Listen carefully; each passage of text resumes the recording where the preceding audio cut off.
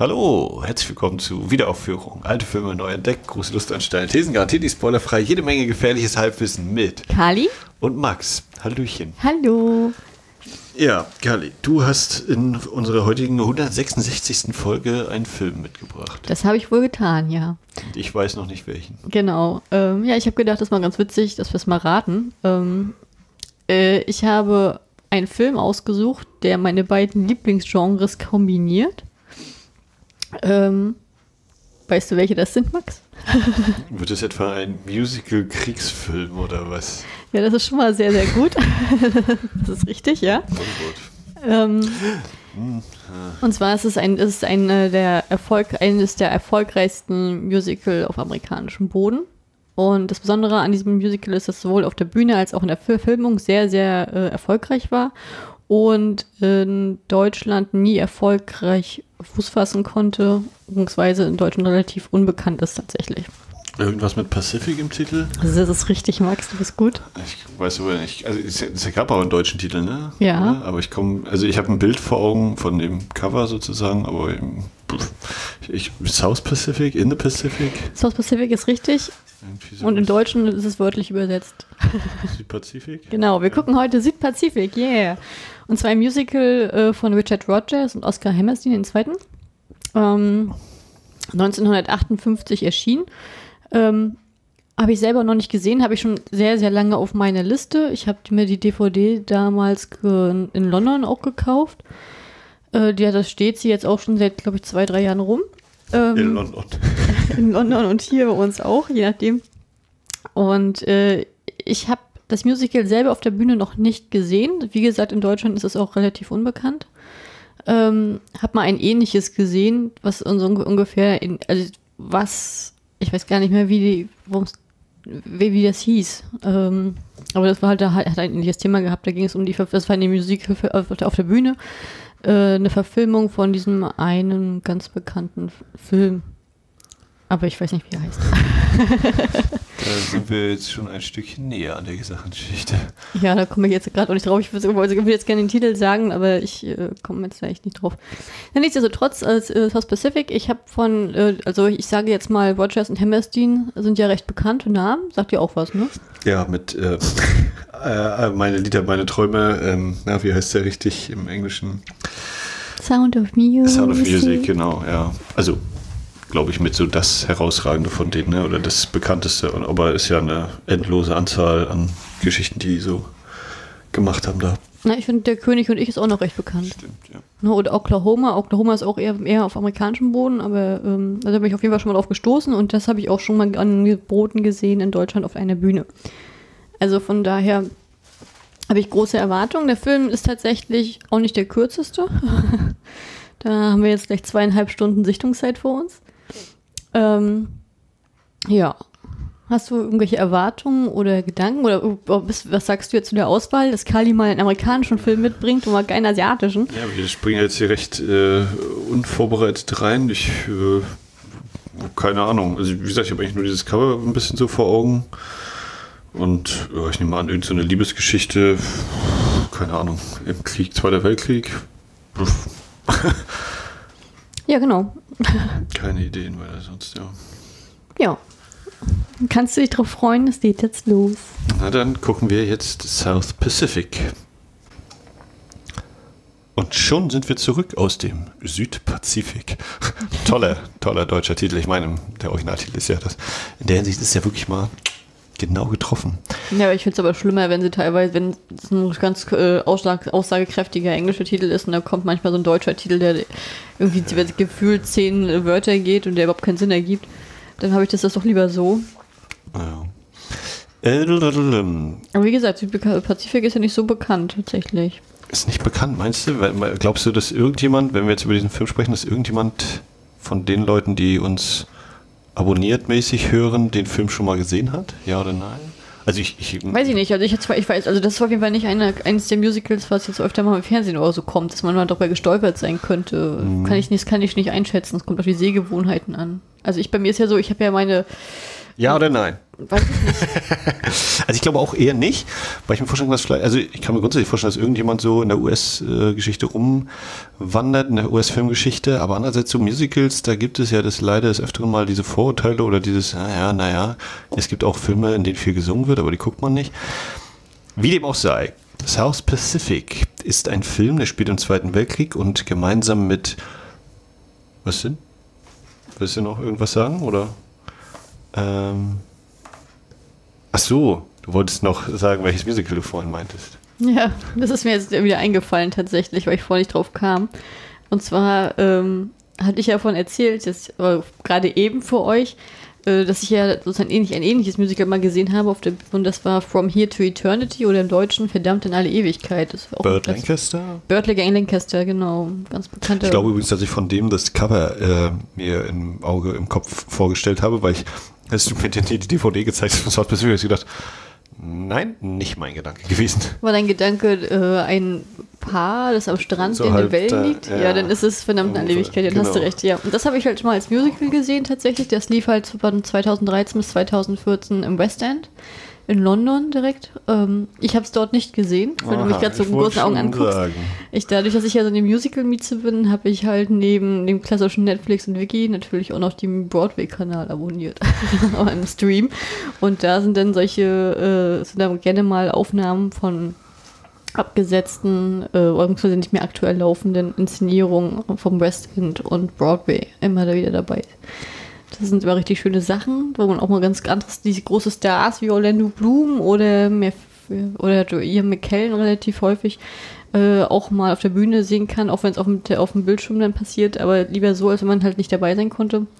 Und ich weiß, dass ich vom Here to Eternity habe ich, also ich habe den Film noch nie gesehen, verdammt in alle Ewigkeit. Und ich habe damals das Musical gesehen. Ich fand das Musical unglaublich stark und habe mir auch natürlich den, gleich den, vom Musical selbst ähm, den Soundtrack runtergeladen. Und da gibt es echt so einige Ohr- Ohrwürmer, die unglaublich gut sind. Und ähm, also falls jemand mal Lust hat, äh, sowas zu, äh, zu entdecken, dem kann ich tatsächlich vom Here to Eternity als Musical-Variation äh, empfehlen. Die ist wie gesagt äh, zum Download verfügbar.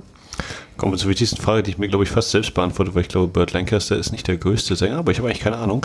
Ist die Verfilmung verdammt in aller Ewigkeit ein Musical oder ist das ein, in Anführungszeichen, normaler Spielfilm? Das ist ein normaler Spielfilm. Das Alles ist ja eine klar. Romanverfilmung tatsächlich. Hm, wird ja mal interessanter. Gut, haben wir das auch noch geklärt? Ähm, Obwohl ich sagen muss, ich habe den Film bis heute nicht gesehen, aber ich gehe ganz stark davon aus, dass es so ist. Bald in der Wiederaufführung, verdammt in alle Ewigkeit. äh, und damit kommen wir jetzt äh, zum Versuch, den Inhalt von South Pacific zusammenzufassen. Ich könnte auch den englischen Text von der DVD-Hülle vorlesen, aber das, äh, den fand ich nicht so berauschend. Ich versuche mich selbst. Äh, wir sind im Zweiten Weltkrieg. Es wird nicht genau gesagt, wann es nun spielt. Ähm, völlig überraschend sind wir im Südpazifik. Mm. Und äh, gemeinsam mit Lieutenant Joe Cable fliegen wir äh, zu einer Insel. Die Insel. Diese Insel bin ich mir gar nicht sicher, wie die heißt. Die eine heißt Mary Louise, die andere heißt Bali High. Auf, auf die Insel, auf der die sind, habe ich schon wieder vergessen. Ähm, dort landet er und ähm, ja, er ist dann eigentlich gar nicht so unbedingt die Hauptfigur, lustigerweise. Da geht es dann nämlich mehr um die Krankenschwester Nellie Vorbusch, gespielt von Mitzi Gaynor, bei der ich der Meinung bin, die kenne ich irgendwer, aber ich habe jetzt auch nicht mehr nachgeguckt. Und ähm, Nellie, F- nee genau, Joe Cable hat eigentlich den Auftrag, auf der Insel, auf der er landet, soll er mit einem französischen Plantation Owner, also eigentlich Plantagenbesitzer, aber es sieht mir nicht so hundertprozentig nach. Ich habe eine andere Vorstellung, was Plantagen sind, aber eigentlich ist es wahrscheinlich das Gleiche. Ähm, Plantagenbesitzer Mr. Emile de Beck, gespielt von Rossano Brazzi, also wahrscheinlich ein waschechter Franzose. ähm, den soll er kontaktieren, weil der Kontakt hat auf eine andere Insel, die in Feindeshand ist, also in japanischer, um dort eben geheim äh, zu gucken, was denn die Japaner so treiben an Land, äh, nee, vor Dingen zu Wasser, aber vielleicht auch in der Luft und vielleicht auch an Land. Und soll das eben übermitteln an diese andere Insel. Und ja, das dauert eine ganze Weile, bis dieser Auftrag oder ob dieser Auftrag überhaupt ins Rollen kommt. Äh, vielmehr steht dann im Vordergrund die amorösen Avancen zwischen Nelly Vorbusch und Mr. Emile de Beck. Ja, Das so als Anfütterung. Habe ich was vergessen?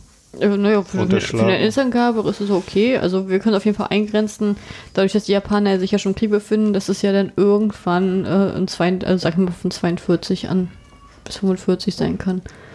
In diesen drei Jahren wird es spielen. Ja, also ich meine, das genaue Jahr ist mir eigentlich auch fast Lachs, ähm, weil es eben so. Ich fand es eher tatsächlich ein bisschen überraschend, weil wir mit dem Joe Cable ja sozusagen einsteigen. Ne? Und ich so gedacht so, ah ja, guter, guter Weg, um das so einzuführen, die Situation, die ungefähre Lage. Wir kriegen ja auch erstmal nur so halb mit. Er sagt ja gar nicht so genau, was seine Mission ist. Er fragt den Piloten, ob er den und den Typen kennt. Wo ich Pilot, ja klar. Äh, den kennt er natürlich, wo ich so dachte, ja, der Pilot äh, ist ja anscheinend immer auf, äh, weiß, kennt alle und so. Mm, Um dann eben sozusagen diesen Perspektivwechsel vorzunehmen, dass dann eben die Nelly und in Kombination mit äh, Emil dann so in den Fokus rücken. Und, und also diese Mission, die wird ja bis, bis weit in den zweiten Teil äh, mindestens aufgeschoben. Und letzte halbe Stunde. Ne? Also das ist ja dann wirklich schon so, ich dachte, ah, es ist eben eher so Drama, schrägstrich vielleicht ein bisschen melodramatisch, aber vor allem eigentlich so Liebesgeschichten. Ähm, ja, ja. Ich weiß nicht, ob ich das jetzt gut oder schlecht oder einfach als gegeben hinnehme. Also ja, John Cable, das ist ja für mich sozusagen, wenn ich so einen Drama-Sachen äh, mal sagen kann, der Second Lead. Ähm, den fand ich ja unglaublich spannend. Also ich habe immer so gedacht, Spannend oder meintest du etwa, möchtest du mit spannend sagen, gut aussehen? ich fand ihn unheimlich gut aussehen. Das muss man, das muss man dem Film ja mal lassen. Also weil er, er beschäftigt sich ja auch, äh, die Form werden wir vielleicht noch ein bisschen weiter besprechen mit dem Thema Rassismus und solche Geschichten. Ähm, aber auf der Sexismus-Ebene kann man definitiv mal festhalten, hier sind es die Männer, die oben ohne viel rumlaufen. Allerdings. Und äh, ich fand den Film auch sehr ansehnlich. Also, Ja, hat sehr schöne Naturaufnahmen, ja, die Perspektiven sind sehr schön hier. die Landschaften. Ja, nichtsdestotrotz, ich fand auf jeden Fall, ich fand schon, dass der sehr gut aussah und ich fand aber auch, dass der, der, hat, mich, der hat mich so an, ähm, an Tobey Maguire in Blond erinnert, so von der Augenpartie her so ein bisschen. Also, Also hatte ich auf jeden Fall einmal kurz diesen Gedanken auch, weil ich habe ja gestern noch Great Gatsby mal wieder geguckt, den, achso, den ne- neueren. Passt das ja. ja. Ähm, ja, aber bei mir ist es einfach, äh, bei mir ist es allgemein so, wenn ich sichte, dass ich natürlich Leute, ähm, also junge Leute oder Leute in meinem Alter oder jüngere Leute mich eher mit denen identifizieren kann, als wenn es ältere Leute sind. Deswegen war es mich so enttäuschend, als ich dann den gesehen habe und dann habe ich mir dieses DVD-Cover angesehen, wusste der alte Mann, es wird ein alter kleiner Mann in der Hauptrolle sein. das, das war ja dann auch so, der Italiener. Ähm, der von meiner Rechnung, so wie sich das dargestellt hat, von Informationen, die der Film gegeben hat, 37 sein sollte, aber ich hätte jetzt mal so spontan 10 Jahre raufgeschlagen. Ja, also ich hätte gedacht eher 73 als 37 und also 73 auf jeden Fall noch nicht, aber ähm, mindestens 50 plus. Ja, also das war halt dieses, Okay, gut. mhm, okay, mit 22 hat er den einen umgebracht und 16, dann ist er gleich geflüchtet, 16 Jahre ist er hier. Nee. Hä? Hat er, hat, war der mit 22 hat er das gesagt? Das hab ich, ich hab, ich hab das so verstanden als, als Jugendlicher noch. Naja. Nee, das 22, war auch hat, mit Phase, 22 wo ist er geflüchtet. Das wurde dann, hat dann der eine gesagt und dann hat er gesagt, er ist seit 16 Jahren da und dann kann man ja das hochrechnen. Das wäre dann, ach nee, gut, dann habe ich einen Zeit, einen Rechenfehler. Du bist dann 38. ja. Naja, aber Bist nichtsdestotrotz, durch die Zeit gereist. bis ja, aber nichtsdestotrotz, äh, never. Ja, ja. Ähm, wurde, also vielleicht habe ich es überhört, ich hatte mal eine Phase, wo ich nicht hundertprozentig äh, intensiv konzentriert war, weil mir die Augen zugefallen sind. Wir haben das heute relativ spontan entschieden, diesen Podcast zu machen. Ich war nicht darauf eingestellt, einen, am Nachmittag einen Film zu gucken. Ich Ja, es heißt auf- relativ spontan. Ich, ich war zum Podcast verabredet für Serienoase und dann ist ja die Technik komplett flöten gegangen bei meiner Ja. Partnerin und deswegen habe ich gesagt, ich habe mir auf Podcast eingestellt. Max, hast du jetzt Bock? Ja, und Max so, äh, ich wollte eigentlich Mittagsschlaf machen. Naja, schieben wir das. Ich wollte eigentlich darauf hinaus, wurde einmal gesagt, ob er, also er ist, er ist dann eben in den Pazifik irgendwie mit Boot, und das wurde gesagt, das habe ich mitgekriegt, aber wurde mal was gesagt, ob er Geld dabei hatte oder so, weil für mich war es so, ja, er ist jetzt geflüchtet und du wirst ja nicht einfach so, wenn du flüchtest und dann auf irgendeiner Südsee-Pazifik-Insel landest, äh, wirst du ja nicht einfach so Plantagenbesitzer. Und Ja, aber das da haben sie ja gleich, das haben sie ja ganz am Anfang geklärt, äh, aber weggeschoben, indem sie gesagt haben, ja, dass er dann halt durch äh, einen glücklichen Zufall zum Plantagenbesitzer wurde und Okay. reich wurde. Das war aber noch- war aber das noch ein keiner Flugzeug? Kann, ja, es war noch ein Flugzeug, Okay, ja. ja. Aber keiner kann sich erklären, was es ist und warum und es weiß halt keiner, was dahinter steckt. Und das wird Okay. auch bis zum Schluss auch nicht gesagt. Okay, gut, damit kann ich leben. Ja, Ja. Was, haben- also was haben wir denn da für ein Szenario? Wir haben, im Grunde haben wir da, äh, kommt ja denn der Lieutenant äh, Cable in, auf diese Insel, wo ich mir nicht mehr sicher bin, ob sie überhaupt den Namen gesagt haben, auf der Insel selbst. Ich habe immer, nur von der Nachbarinsel geredet. Ähm, und dort findet er sozusagen an die ganzen ja, Soldaten vor, angeführt von dem quirligen Luce, ähm, die eigentlich die ganze Zeit beklagen, dass äh, es keine Frauen gibt und dass es, dass sie sich halt langweilen, dass sie nichts zu tun haben, weil sie auch nicht im Kampfgeschehen beteiligt werden können und nichts, weil halt passiert nichts. Und dementsprechend helfen sie dann äh, den, den äh, Souvenirhändlerinnen. Äh, was ist denn, eine, was ist denn das hier? So, so diese Stroh, Röcke. diese Strohröcke, Hawaii-Style und so zu knüpfen oder zu nähen oder so, weil sie einfach nichts zu tun haben und äh, aus dem tristen Leben ausbrechen wollen. Ist eigentlich im Grunde, behaupte ich jetzt mal so, von den paar Kriegsfilmen, die ich kenne, ist das ja durchaus eine, eine nachvollziehbare Schilderung des Kriegsalltags, ne? dass du eigentlich die ganze Zeit da nichts machst, bis dann irgendwann mal der Einsatz kommt und dich dann natürlich langweilst, dann ist eben äh, männliche hormonelle Bedürfnisse, die dann äh, nach einiger Zeit auftreten, weil du eben auch nicht den ganzen Tag nur Football spielen kannst und dich mit anderen Männern im, im Sand wälzen oder so. Ähm, Ja, sie fand es auch interessant, als er nochmal gesagt wurde, auch wenn es aus dem Nichts kam, als ein Lieutenant Kebel bei der Hälfte äh, aus dem Krankenhaus entlassen wurde, ähm, wegen seiner Malaria. Das fand ich mal nochmal ganz interessant, ähm, weil ich das fand ich auch mal ganz realistisch, weil mein Gedanke, mein Vergleich dazu ist natürlich dann äh, die äh, Miniserie The Pacific und äh, wenn die dann halt im Lager mal sind, haben sie natürlich alle sozusagen nochmal mit diesen ähm, Nachwehen der Verletzungen, die sie hatten, zu kämpfen oder Krankheiten zu kämpfen oder ähnliches. Ähm, und da fand er, war der Abend, natürlich versuchen die sich das lustig zu gestalten, aber natürlich sind viele dann halt vom Krieg so, Krieg so gezeichnet und dass es natürlich in so einem Musical jetzt nicht solche äh, Figuren gibt, das ist schon klar, du musst ja die Moral steigern, aber ähm, Ja, ich meine, das ist ein interessanter Punkt. Hier, Also, ne, es kommt in der zweiten Hälfte, also nach der Intermission auf jeden Fall, kommt dann einfach mal, ah, Joe, wie geht's dir? Wir denken so, ja, wieso, was soll denn sein? Und dann, ja, Malaria gut überstanden. okay, ich habe kurz überlegt, ob ich die Szene nicht mitbekommen habe, aber als du dann sagtest, hä, wann war das denn, habe ich gedacht, okay, gut, ich bin fein raus. Ähm, der, der Punkt ist, dass sozusagen Joe, der äh, auf eine dieser Nachbarinseln eben äh, kommt und sich in, in eine der einheimischen Mädchen verguckt, äh, verliebt. das ist ja untertrieben, ja, da wird von der Mutter verkuppelt, aber auch wirklich auf, auf fieseste, perfideste Art. Ja, auf jeden Fall, dass äh, eben damit verbunden wird mit dieser exotischen Schönheit oder einerseits die, die Schönheit der, des Exotischen, des Fremden, aber gleichzeitig eben auch die Gefahr in äh, eben in, in Persona, in Form von Malaria. Also dass die Krankheit äh, auch in diesem Unbekannten lauert. Also dass das nicht einfach nur ein schönes Paradies ist, sondern dass das Ganze in Anführungszeichen einen Haken hat. Ähm, ja, das ist da wird dadurch auf gewisse Weise erzählt, auch wenn das tatsächlich eher so am Rand ist und wir gar nicht mitbekommen, dass er überhaupt erkrankt. Ähm, aber ich hatte auch ein, zwei Mal uns kurz überlegt, oh, jetzt ist aber schon ein bisschen Zeit vergangen, oder? Das ist jetzt nicht gleich der nächste Tag oder noch derselbe Tag. Ja, das ist aber, das wird aber gar nicht gesagt.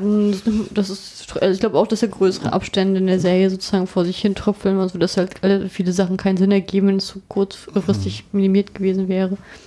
Aber ich fand auf jeden Fall die Idee ganz interessant, dass er ja sozusagen, also der, der äh, Lieutenant Cable, der wirkt ja sehr, ähm, sehr pflichtbewusst, sehr ähm, ernst teilweise, also sozusagen zielorientiert. Und dass er sich dann halt von dem quirligen Loser so mitreißen lässt, dass er dann dort hinfährt und sich dann von äh, der da von der äh, Chef, Oberchefin da wegziehen lässt, um dann um von der eigenen Tochter zu verkuppelt zu werden.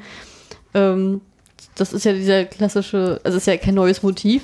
Das ist ja dieses, oh ja, jetzt sehen wir uns und das ist Liebe auf den ersten Blick. Und Ja, das und- ist ja viel Liebe auch auf den ersten Blick und alles. Und dann Und dass eben vor allem eine Heirat dann aus Liebe wäre und nicht eben eine Heirat nur äh, aus, weil irgendjemand möchte, dass sie da jetzt äh, verheiratet wird oder so. Ne? Ja, ich meine, aber ich fand, das fand ich auch interessant, weil die, diese Liebe ja dargestellt wird, aber gleichzeitig haben sie ja diese Sprachbarriere, weil die, die, das Mädchen spricht ja nur Französisch, er spricht ja nur, nur Englisch und halt nur ein bisschen können sie vom anderen was machen, aber letztendlich kommunizieren sie ja nicht wirklich, außer körperlich.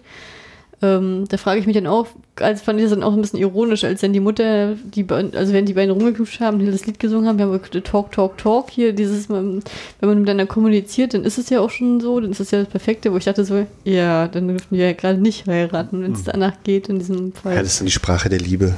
Deswegen.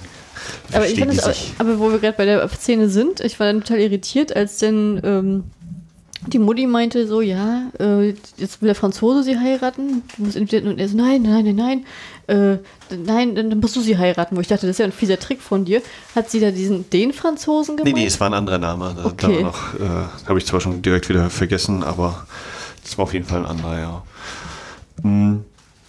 Naja, genau. Also weil du jetzt gerade sagst, ist, ne, Joe Cable wirkt irgendwie so ernst oder pflichtbewusst. Wir kriegen natürlich auch vor allem eben hier Luther Willis und die anderen ich glaube, das sind die Leute von der Navy, ne? Hm. Also, dass die tatsächlich. Das ist doch alles Navy da.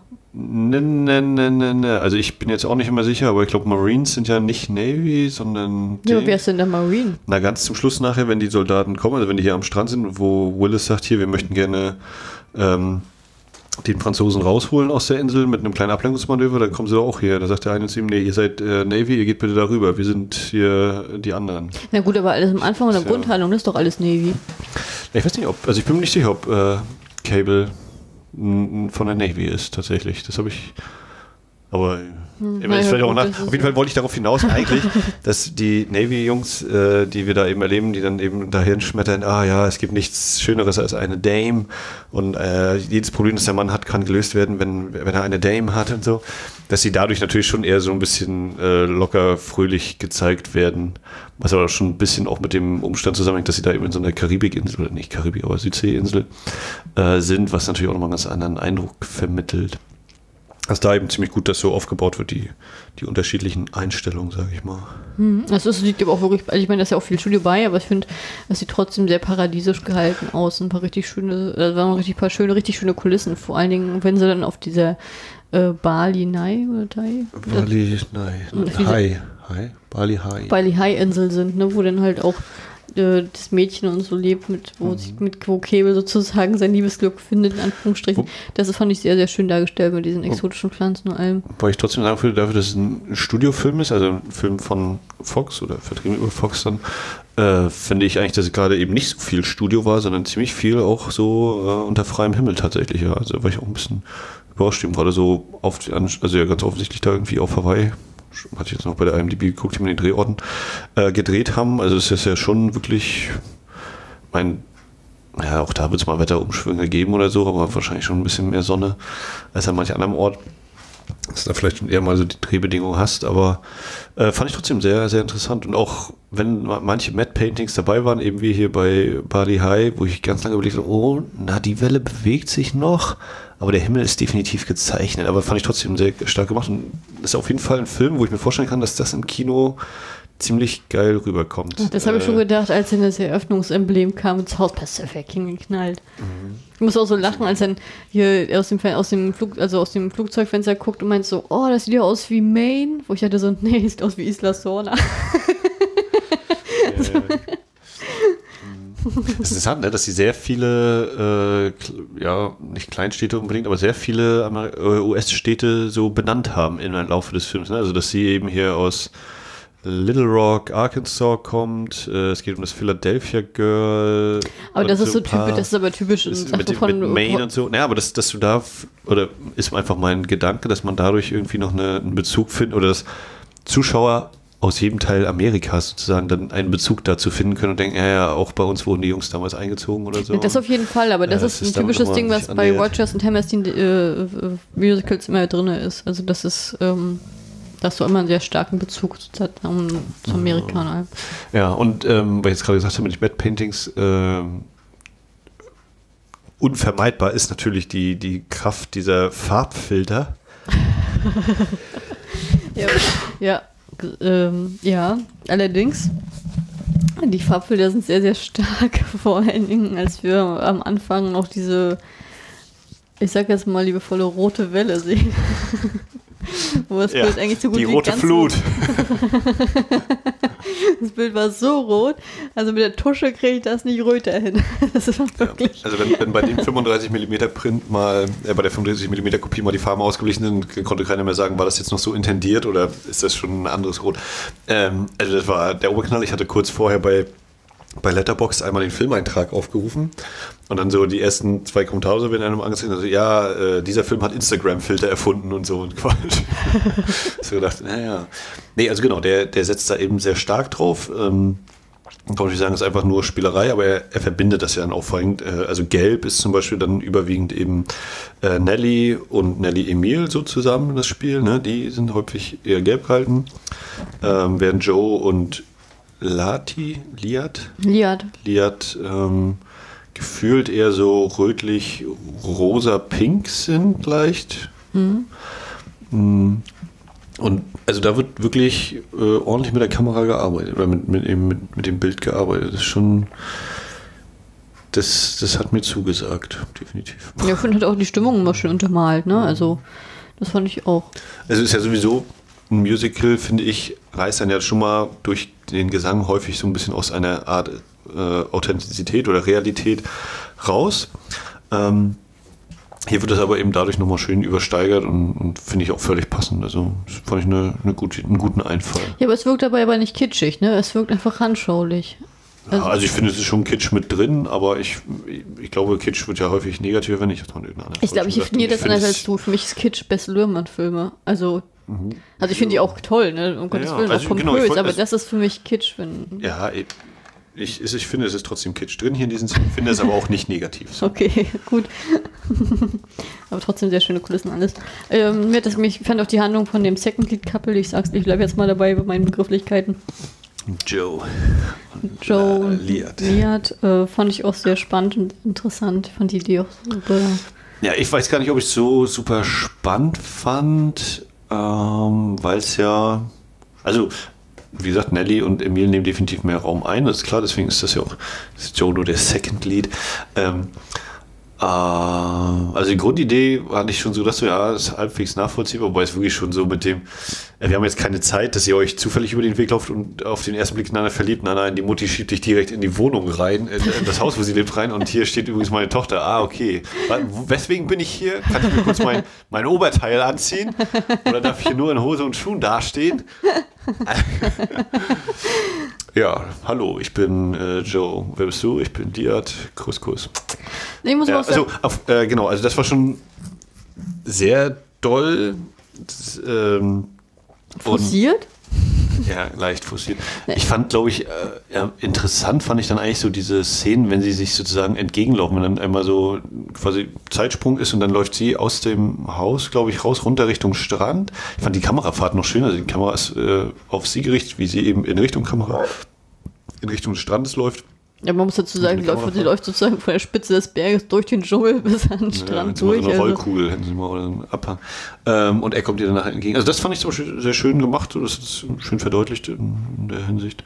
Ähm, ja, und dann dieses äh, Drama, was dann eben so ist, dieses, ja, ich liebe dich, aber ich kann nicht. Und ach ja, stimmt, ich habe noch das Philadelphia Girl, die habe ich schon fast vergessen. Äh, also die vergisst, das war schon klar, als, die, als die halbnackten Mädels alle auf der Insel gegengelaufen kamen. Aber ich muss auch ehrlich sagen, das fand ich, das fand ich, das wollte ich jetzt die ganze Zeit schon sagen. Dass ich fand das ziemlich, ich fand das sehr, Halbnackte Mädels, ja, bitte. Na, ich finde das schon, schon auf der Insel sozusagen, dass die Polynesierinnen, die werden halt alle schon sehr in diesem klassischen Hawaii-Kostüm so dargestellt, sind mhm. sehr mädchenhaft und dass unsere ähm, äh, Liat sozusagen hat ja eher so, ein, so eine Bluse an, die ich eher so mit Japan verbinde oder China verbinde, mhm. nee, mit China eher verbinde und dann noch eine Hose. So also Hose. Weiße, weiße Bluse, schwarze Hose, genau. Und, also ich würde diese Keuschheit nochmal symbolisiert im Vergleich zu den ja, anderen und vor wahrscheinlich. Allen Dingen, vor allen Dingen im, Vergleich zu eben diesen eher äh, Eingeborenen oder, oder Ureinwohnern eben tatsächlich in großen Anführungszeichen zivilisierter dargestellt. Ja, genau, mit dieser also Kleidung, westlicher ne, auch wirkt, ja, ja. tonwestlicher, dann auch mit mhm. Pferdeschwanz und allem und wenn die anderen ja die Haare aufhaben. Also ich finde, das war schon sehr, sehr deutlich, dass sie die einzige auf der Insel war, die so ah. Klamotten hatte. Genau, sie ist äußerlich nicht, nicht sehr traditionell gekleidet. Äh, ich überlege gerade. Und, und, und, sie natürlich ist natürlich ist sie niedlich und eine Schönheit, ne? Das ist klar. Ja. Ich fand es einen kleinen Moment habe ich so auch überlegt, wie ist das eigentlich zu verstehen, also weil ich jetzt gerade zu der Mutterfigur noch überlege, ähm, die so als Händlerin oder als äh, ja doch als Händlerin da. Ja, Shakespeare hätte gesagt Kupplerin. Äh, nee, aber die ja Händlerin ist und der, äh, ob sie damit eigentlich auch schon so eine, so eine Zwischenfigur ist zwischen eben den, den Ureinwohnern. Es wird sich natürlich trotzdem derbe, äh, wird sie abgekanzelt, dass sie nicht ordentlich sprechen kann. Ne? Sie dachte immer, Lutellern statt Lieutenant oder irgendwie so. Und, äh, ne, also ja, vergiss halt das T am Ende, ne? Dass sie nicht, ja, und ein Buchstabendreher ist noch drin. Irgendwie. Auf jeden Fall, dass sie eben nicht korrektes Englisch sprechen kann, sondern eben so ein halbes Englisch. Ähm, also wird schon so als, als äh, eben ne, die, der, der zivilisierte Amerikaner und die wilden äh, im Rest der Welt sozusagen, das wird schon so, kommt schon damit durch. Das ist eine Perspektivensache, ne? Also ich denke wiederum, dass sie überhaupt Englisch sprechen kann, ist doch gut. Also das ist ja schon, das ist ja, Ja, aber schon es wird sich ja durchaus ne? schon darüber lustig gemacht, wie sie. Ja, aber das ist, aber das ist ja wieder typisch Amerikaner, ne? Äh, ja, auf jeden Fall wollte ich eigentlich darauf hinaus, dass sie dann von dem, äh, ich weiß auch wieder nicht, seinen Rang, der Captain da vor Ort hier, der Weißhaarige, der Alte, der dann einmal zu ihr sagt, hier, sie bringen die ganze Ökonomie durcheinander oder so ähm, mit ihrem Handeln, wo ich so denke, ja, aber das ist doch eigentlich genau das, was ihr Amis ja eigentlich so wollt mit, der, mit dem Kapitalismus, ne? dass du, wenn du dein Geschäft hast und dann willst du das Geschäft immer größer werden lassen, Hauptsache du machst Geld und Geld ist sozusagen steht über allem. Ja, na gut, aber das, Äh. die Amis sind damit nicht glücklich, wenn das nicht bei ihnen landet. Ja, ja, deswegen fand ich das, so, habe ich so gedacht, so, ist das jetzt wirklich eine harte Kapitalismuskritik oder ist das eben so ein leichter ironischer Seitenhieb oder ist das nichts von dem, sondern sollte einfach nur als billiger Gag herhalten? Aber ich glaube, so ein bisschen was steckt da irgendwie drin, so mit dem, ja, hier, ihr, ihre Geschäfte, dass die immer größer werden, das geht so aber nicht. So, ich denke, ja, ja, ja, habt ihr euch alles schön selber eingebrockt. Ihr wolltet das ja so, der allmächtige Dollar. Na, ich glaube, der Punkt ist einfach, dass sie halt, ähm, weil sie ja auf sie ru- runtergucken, ne? weil sie ja Mhm. halt sozusagen nur von den Wilden kommt und dass sie dann halt das Geschäft da beherrschen, die dominante da ist. Ich glaube, das ist schon ein Problem. Das ist ja sowieso eine Sache, die sich halt durch den ganzen Film zieht, dieser Rassismus und ähm, äh, ja, diese Scheinheiligkeit in vielen Bereichen. Das sind ja eigentlich das Hauptthema sozusagen im Film. Und es wird ja auch teilweise, also es wird angesprochen, es wird nicht gesagt, Rassist oder das Wort Rassismus fällt nicht oder rassistisch oder ähnliches, aber es wird dann eben darauf hingewiesen, ja, äh, das äh, steckt irgendwie in uns drin oder es wird dann nochmal differenziert zwischen, hat man das, wenn man geboren ist schon, ist man da schon rassistisch oder wird man eben rassistisch, weil man so erzogen wird, weil einem das indoktriniert wird, mit, bis man spätestens 5, 6, 7, 8 Jahre alt ist, da hat man das alles schon dann voll eingeatmet und eingetrichtert bekommen. Und zumindest in der Figur des Joe Cable wird das ja auch nicht mehr aufgelöst. Ne? Also der ist ja letztlich, ähm, er spricht das zwar an und er geht eben, während Nelly in ihrem Song noch sagt, äh, man wird so geboren. Ne? Also das ist sozusagen, das wäre sozusagen eine menschliche Eigenschaft, hieße das ja. Ja, aber wieso? Aber John Cable sagt doch das Gegenteil. Er sagt doch denn, Ja, ich möchte ja gerade auch den nächsten Schritt machen. Das, wie gesagt, Nelly, bei Nelly klingt das noch so, die sagt das so und Joe sagt dann eben, nee, das ist ja nicht angeboren, aber da ist sie dann, glaube ich, schon weggegangen äh, und dann sagt er eben noch, nee, es ist eben nicht angeboren, sondern äh, man kriegt das eben, ab der Geburt wird einem das eingetrichtert und spätestens, und, wenn, äh, und eben bevor man 5, 6, 7, 8 Jahre ist, da ist man dann schon voll so reingehämmert. Äh, aber dennoch bleibt es ja dabei, dass äh, er eben nicht mehr mit seiner Liebe da zusammenkommen wird, mit seiner Südseeliebe und letztlich dann auch getötet wird von den Japanern. Na gut, aber er hat ja trotzdem vorher den Entschluss gefasst, dass er diese Mission jetzt antreten wird und Ja. dass er danach aber da bleiben möchte mit ihr. Also das äh, dafür, da, also in die Richtung ging es dann tatsächlich schon, ne? Aber da hat man ja schon das Gefühl, wo es- weil man weiß ja, das Second Leads sind ja eh immer so ein bisschen gefährdet. Ähm, Ist er denn ein amerikanischer Held dann? Weil er im, im, Einsatz, weil er im Einsatz stirbt, wahrscheinlich sowieso schon, ne? Aber wenn er naja, wieso, wenn er bei einer Geheimmission stirbt, dann weiß das ja keiner. dann, Ja, das ist ja eine, also ich würde eher sagen, es war eine verdeckte, es war nicht eine völlig geheime Mission. Das ist jetzt, glaube ich, keine, äh, also im Sinne von, er ist gestorben, aber wir können das niemanden äh, wissen lassen, dass er bei dieser Mission gestorben ist. Ich glaube, es ist eher so ein, wir können die Leute das wissen lassen, weil es halt so ein Einsatz hinter feindlichen Linien ist und nicht ein, ein geheimer Einsatz, wo eben äh, Na, er sagt ja am- im Flugzeug, das ist top secret, äh, die Mission. Na gut, das ist ja auch noch mitten im Gange, ne? Das ist jetzt die Frage. Naja, genau, also nehmen wir an, er hätte diese Mission überlebt und wäre dann mit dem, mit der äh, Liat zusammengekommen, wäre er dann auch amerikanischer Held gewesen oder wäre das ähm, also ich überlege gerade, weißt du, ne, dass er einerseits ähm, wird er uns gezeigt, er erkennt diese Problematik des Rassismus auch in sich selbst und dass er eben sagt, ja, ich kann theoretisch versuchen, dagegen anzukämpfen, aber es wurde mir halt von klein auf äh, eingehämmert und damit ja eigentlich durchaus positiv zu bewerten ist. Obwohl ich eher das Gefühl habe, dass in seiner Rolle er nicht das Problem hat, dass er selber rassistisch ist, sondern dass er äh, die Angst hat, was seine Familie sagt, dazu sagt. Was soll ich sagen, sie sind 100.000 Kilometer weg. Ja, ja, aber äh, ich Also- glaube, es geht bei ihm, glaube ich, eher darum, was andere Leute zu, über ihn denken. Und nicht, also nicht, dass er äh, ah. nicht akzeptiert, dass sie jetzt Polynesierin ist. Ich glaube, er selber hat damit weniger Probleme. Ich glaube, es geht einfach nur darum, dass, was er durch seine Familie, weil ihm ja zu Hause noch zugesprochen wird, dass er ist mit der, er ist mit der einen Dame verlobt äh, aus Philadelphia. Er, hat, er, er, wird von seiner Familie so ähm, unterstützt, dass er soll halt ja, gewiss erstrebsam sein. Dann, genau, dann ja. darf er halt, wird er halt halt Partner, ja, also der hat, kriegt das so zugesichert. Also bei ihm ist es eher so an die. Der Weg ist vorgezeichnet. Genau, an die, äh, an diese äußeren Umstände gebunden als an die inneren, während das bei der Nelly ja genau umgekehrt ist. Ne? Weil ich mich dann halt frage, so, oder in meiner Vorstellung, ne, er überlebt jetzt die Mission, lebt dann mit ihr zusammen und bleibt sozusagen da auf der Insel. Also was, was wäre denn die Konsequenz? Wer, wer sollte denn irgendwas reden oder erzählen? Ne? Also mit wem hätte er da überhaupt Kontakt, wenn also er jetzt nicht mit, also ich mit ja zusammen aufs Festland zurückkehren würde? Ja, aber wie ist denn das? Also als Soldat, du kannst doch überall hin transferiert werden. Du kannst doch jetzt nicht sagen, als Soldat, nee, ich bleibe jetzt hier mein Leben lang auf dieser Insel. Da können die dich doch trotzdem immer wieder Na, schicken, Vielleicht oder? sowas sagen wie, ich gehe im Ruhestand oder so und, oder, oder ich trete aus der Armee aus. Also, hm, ja, ist ein Punkt, das stimmt schon. Ne, wenn er da, da verpflichtet ist, dann, aber vielleicht ist es eben nur für einen gewissen Zeitraum oder hat er sich nur für den Zweiten Weltkrieg da enlisted oder enrolled oder wie auch immer das heißt. Ja, aber die Frage für mich ist ja, also ich habe mir tatsächlich die Frage auch gestellt, weil diese körperliche Anziehung ist ja schön, aber ich kann ja, hat ja mit ihr jetzt nicht so viel zu reden. Ich meine, man, sich mal die Sprache kann man ja nach sich nach und nach aneignen, das sehe ich jetzt nicht so als Problem. Aber was, was soll er denn auf der Insel die ganze Zeit machen? Das ist doch auch, wenn er keine Aufgabe hat, das ist doch auch relativ schnell langweilig. Liebe und Kinder. Ja, also wenn die Mutter dann auch sagt, ich gehe vor euch arbeiten, damit ihr den ganzen Tag Liebe machen könnt. Ja, das ist, das wie ist, die Otter. ich bei nackte Kanone oder so. Wie die Otter. Das ist geliebt wie die Otter. Aber lass mal kurz jetzt mal zum Hauptrecht zu sprechen kommen. Das ist ja das Wichtigste, bevor wir in diesen Grundkonflikt auseinanderzüpfeln. Freiwillige ja, Vorbitte. Du, du, wolltest, du wolltest das Wichtigste ansprechen. Ich bin gespannt, was für dich das Wichtigste ist. Nee, ich wollte erstmal über das Hauptpaar reden. Ja, erstmal über das Hauptpaar. Hm, dann sprich mal über das Hauptpaar. Na, wir haben Nelly und den Franzosen. So. Was sagst du dazu, Max?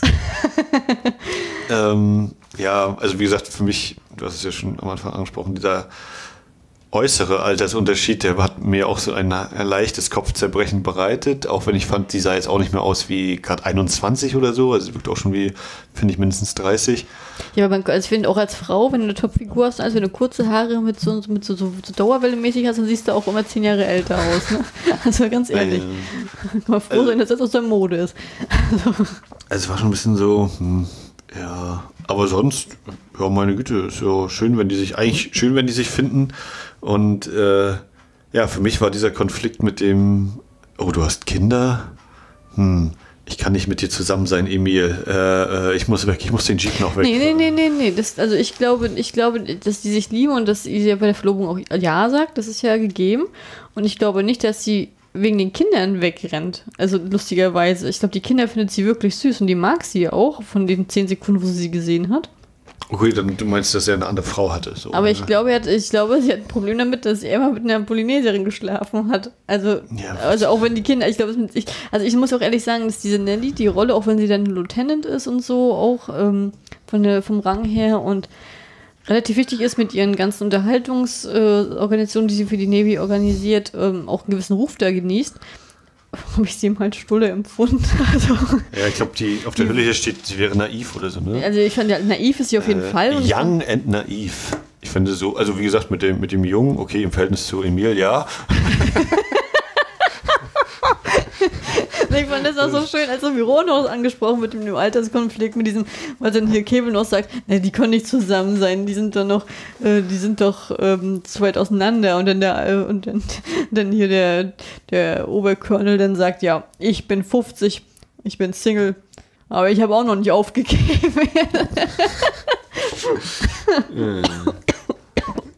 naja.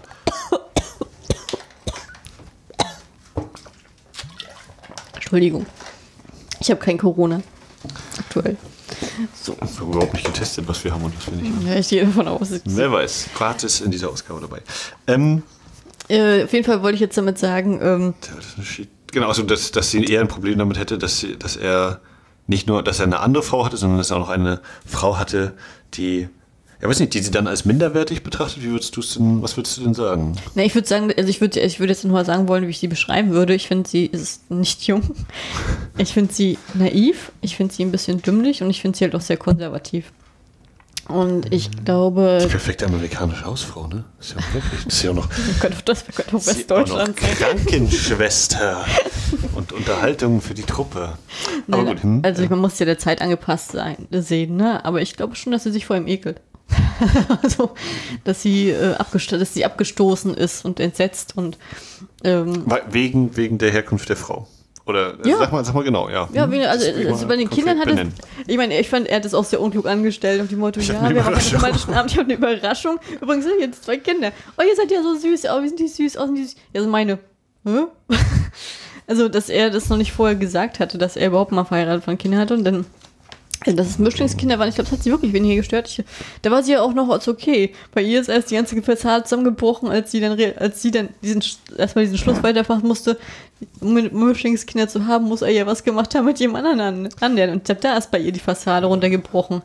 Damit darauf kam sie nicht klar. Also äh, sollten wir jetzt vielleicht auch mal ganz konkret sagen, eine Mischlinge heißt in diesem Fall einfach nur, dass, sind, dass, wir, dass das eben Leute sind, die von aus unterschiedlichen Teilen der Erde kommen. Äh, sonst sind das eben einfach ganz normal Kinder. In Brasilien ist das normal, was zu sagen, aber ich habe das auf der vorne auf der IMDb gelesen. Es tut mir leid, dass ich diese Begrifflichkeit genommen habe, ich will jetzt damit keinen vom Kopf stoßen.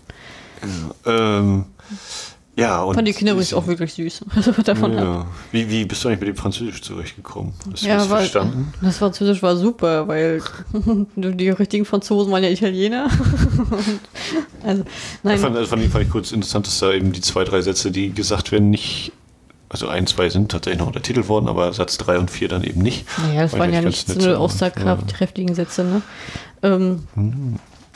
Die fand ich, ich, fand, also ich muss ehrlich sagen, was mich dann gefreut hat, wahrscheinlich, das ist denn, ähm, ist ja nun mal ein amerikanisches Werk und wir haben ja das Thema Rassismus oder halt Toleranz wahrscheinlich oder Bigotterie, kannst du dir aussuchen, welch, was als Hauptthema jetzt nehmen möchtest. Beschreib mal, was du bei Bigotterie verstehst. Ja, so eine Scheinheiligkeit, ne, das, okay. ne und ähm, gerade eine religiöse Ebene. Aber nichtsdestotrotz, ähm, ich finde das ist schön, dass als Vertreter des Europäers ist ja für uns der Europäer, also der Franzose wichtig. Und wir sind natürlich die Toleranten, das freut mich immer wieder. Und äh, die Amerikaner sind halt äh, schmerzverzerrt, Gefühle gegen Kunden oder gegen Gesellschaft. Und das ist nämlich genau der Punkt, das ist nämlich der Unterschied, wo, wo dann halt ja auch Nelly und ähm, Joe dann halt zusammenkommen, um ihr Leid gemeinsam zu beklagen ähm, das bei, bei, bei Joe ist es, habe ich das wirklich den Eindruck gehabt, dass die seine Problematik mit dieser Materie kommt von außen. Und äh, bei Nelly kommt sie von innen. Also sie hat gleichzeitig natürlich wurde sie so erzogen und sie ist sowieso von Anfang an unter dem Druck von ihrer Familie, dass äh, sie nicht mit einem Älteren zusammenkommen soll und schon gar nicht Franzosen. Die hat ja sowieso schon das ist so eine Vorprägung. Und dann ist sozusagen die polynesische äh, verstorbene Ex-Frau noch der Tropfen auf dem heißen Stein. Aber ihr kommt auch gleichzeitig eher diese Intoleranz von innen dass sie halt sich selber, also es ist nicht, dass sie sich von selber das auch nicht akzeptieren möchte mhm. und äh, von ähm, und sich halt ekelt und ich glaube von ihm auch eine leichte Abscheu hat und Enttäuschung und ähm, also ich, also ich finde es, also ich finde es sehr, sehr schwer, mich da reinzuversetzen, weil ich selber nicht rassistisch bin. Ich bin ja genau eher gegenteilig. Ich habe da eher, ich bin ja auch immer für eine, für eine multikulturelle, multikulturelle Gesellschaft. Ich finde das ja auch super, wenn, wenn sozusagen alle voneinander lernen können und so. Und ich kann mich mit ihrem Standpunkt jetzt überhaupt gar nicht identifizieren. Ähm, aber ich hatte schon den Eindruck, dass, also deswegen sag, benutze ich jetzt auch so eine harten Wörter wie Ekel oder Abstoßen, äh, weil sie halt die ganze Zeit so geguckt. also, das ist so, also, dass ich das so deuten würde. Ähm, und auf jeden Fall, natürlich ist es Intoleranz und das ist halt, dass sie dann auch so wegrennt. Also ich finde, ich finde diese Frau unglaublich peinlich in so vielen Ebenen. Also ich fand die auch von, äh, dass sie sich dann, also ich, ich meine, die wurden ja auch, auch so knall auf Fall reingeschmissen, da weiß ja auch nicht, wie lange die sich schon kennen und alles, ne? Aber es war dann halt auch dieses, wenn sie halt mit den Gespräche führten, die sich beide da sozusagen ihre inneren Gespräche führen und ihre und so, dann hast, merkst du ja, dass diese großen Gefühle aufkommen, aber ich finde alles, was sie so sagt, ist sowas von hohl. Also es ist, dieser Charakter ist wirklich sowas von nicht tief. Da wollten sie wirklich eine ganz simple Frau darstellen, das haben sie geschafft. Ähm, ich würde noch jetzt zum Ende einmal hüpfen. Äh, vielleicht jetzt wenig überraschend für viele, ist es keine Tragödie, das heißt, äh, oder es ist nur anteilig eine Tragödie. Äh, die, beiden, die beiden kommen zusammen. Ähm, was würdest du denn sagen, gibt bei ihr den Ausschlag, dass sie dann sagt, äh, ich komme doch mit ihm zusammen. Ich überwinde meine, meinen Rassismus, der mir eingetrichtert worden ist, den ich vielleicht auch in mir trage äh, und sage, ach scheiß drauf, ich, ich gehe einfach mit diesem Mann zusammen. Was, also, genau, ja, wie, wie würdest du das sagen? Was macht er den, den Knackpunkt? Ich komme mir gerade vor wie bei einer Pressekonferenz im Interview. Ähm, also ich würde denken, dass sie ihn ja wirklich liebt und selber inneren hin und her gerissen ist und Zweifel hat. Und dann geht, gehen ja so alle davon aus, dass er tot ist. Und ähm, dass sie sozusagen aus schlechtem Gewissen oder aus sozusagen aus dem, aus der Reue heraus, dass sie nicht rechtzeitig ge natürlich gehandelt hat, sich dann um die Kinder kümmert. Und dass es dann halt nur ein Plus ist, dass er, also ein Bonus ist, dass er doch wieder kommt, dass, also dass er doch nicht tot ist. Das, Also- ist, das ist dann das Perfekte, aber ich glaube, sie geht davon aus, dass er tot ist und das dann halt sozusagen eine Wiedergutmachungsaktion und dann, ich glaube, dass sie die Kinder auch wirklich süß findet. Ich glaube, dass sie nur ihre innere Sperre überwinden muss, dass sie zwischen Kinder süß finden und als eigene Kinder akzeptieren. Also, Ja, und, und würdest, also ja, wie würdest du es so für dich einstufen? Positiv, negativ? Ist so Pöbelum? Also, oder meinst du eine na, jetzt ihre vor? Entscheidung? Ja. Naja, natürlich ist positiv, wenn sie die Kinder annimmt, ne? aber ich fand ja auch ihre, ich fand ja auch ihre Handlung vorher total negativ. Also ich habe vorhin die ganze Zeit gedacht, was ist mit dir los? Also ich überlege zum Beispiel ähm, an der Film, der ist halt noch viel stärker äh, thematisiert, American History X, wo ich zum Beispiel äh, sehr große Probleme damit habe, oder vielleicht habe ich es, wie gesagt, auch so einfach falsch verstanden, weswegen sich Derek Vignard äh, vom überzeugten Nazi zum, ach, das ist doch irgendwie alles doof, wandelt. Hat er ein schwarzes Kind? Nicht in der Filmversion, die ich gesehen habe. Achso, nee. Also, also ich habe den Film. Ich hab, Entschuldige, ich habe gedacht, weil du das jetzt übergleitet hast. Nee, das ist auch so. ja. Sag mal, gibt, es gibt auf jeden Weil, also der, der, der Film zeigt das, also American History X ist bei mir der Eindruck damals entstanden, ja, äh, also er freut sich zwar mit dem einen Schwarzen dann an da in, im Knast, aber gefühlt ist so dieses, ich wende mich von der rechten Ideologie ab, vor allen Dingen damit begründet, dass er merkt, ach, die anderen Rechten, die wir hier haben, die, die sind gar nicht so hart rechts, sondern die machen trotzdem irgendwie Geschäfte mit denen, die sie vorgeben zu hassen und sowas. Und äh, dass das irgendwie so ein bisschen darauf fußt. Auf jeden Fall äh, fand ich das äh, in der Hinsicht wenig überzeugend und deswegen nicht, leider nicht ganz so stark, wie ich ihn empfinden würde, den Film. Und hier überlege ich eben auch so, ja, wie, wie geht es mir eigentlich damit, dass sie einerseits sagt, ja, und das ja sogar so ein bisschen von sich schiebt, indem sie sagt, naja, das ist uns halt angeboren, dieser Rassismus.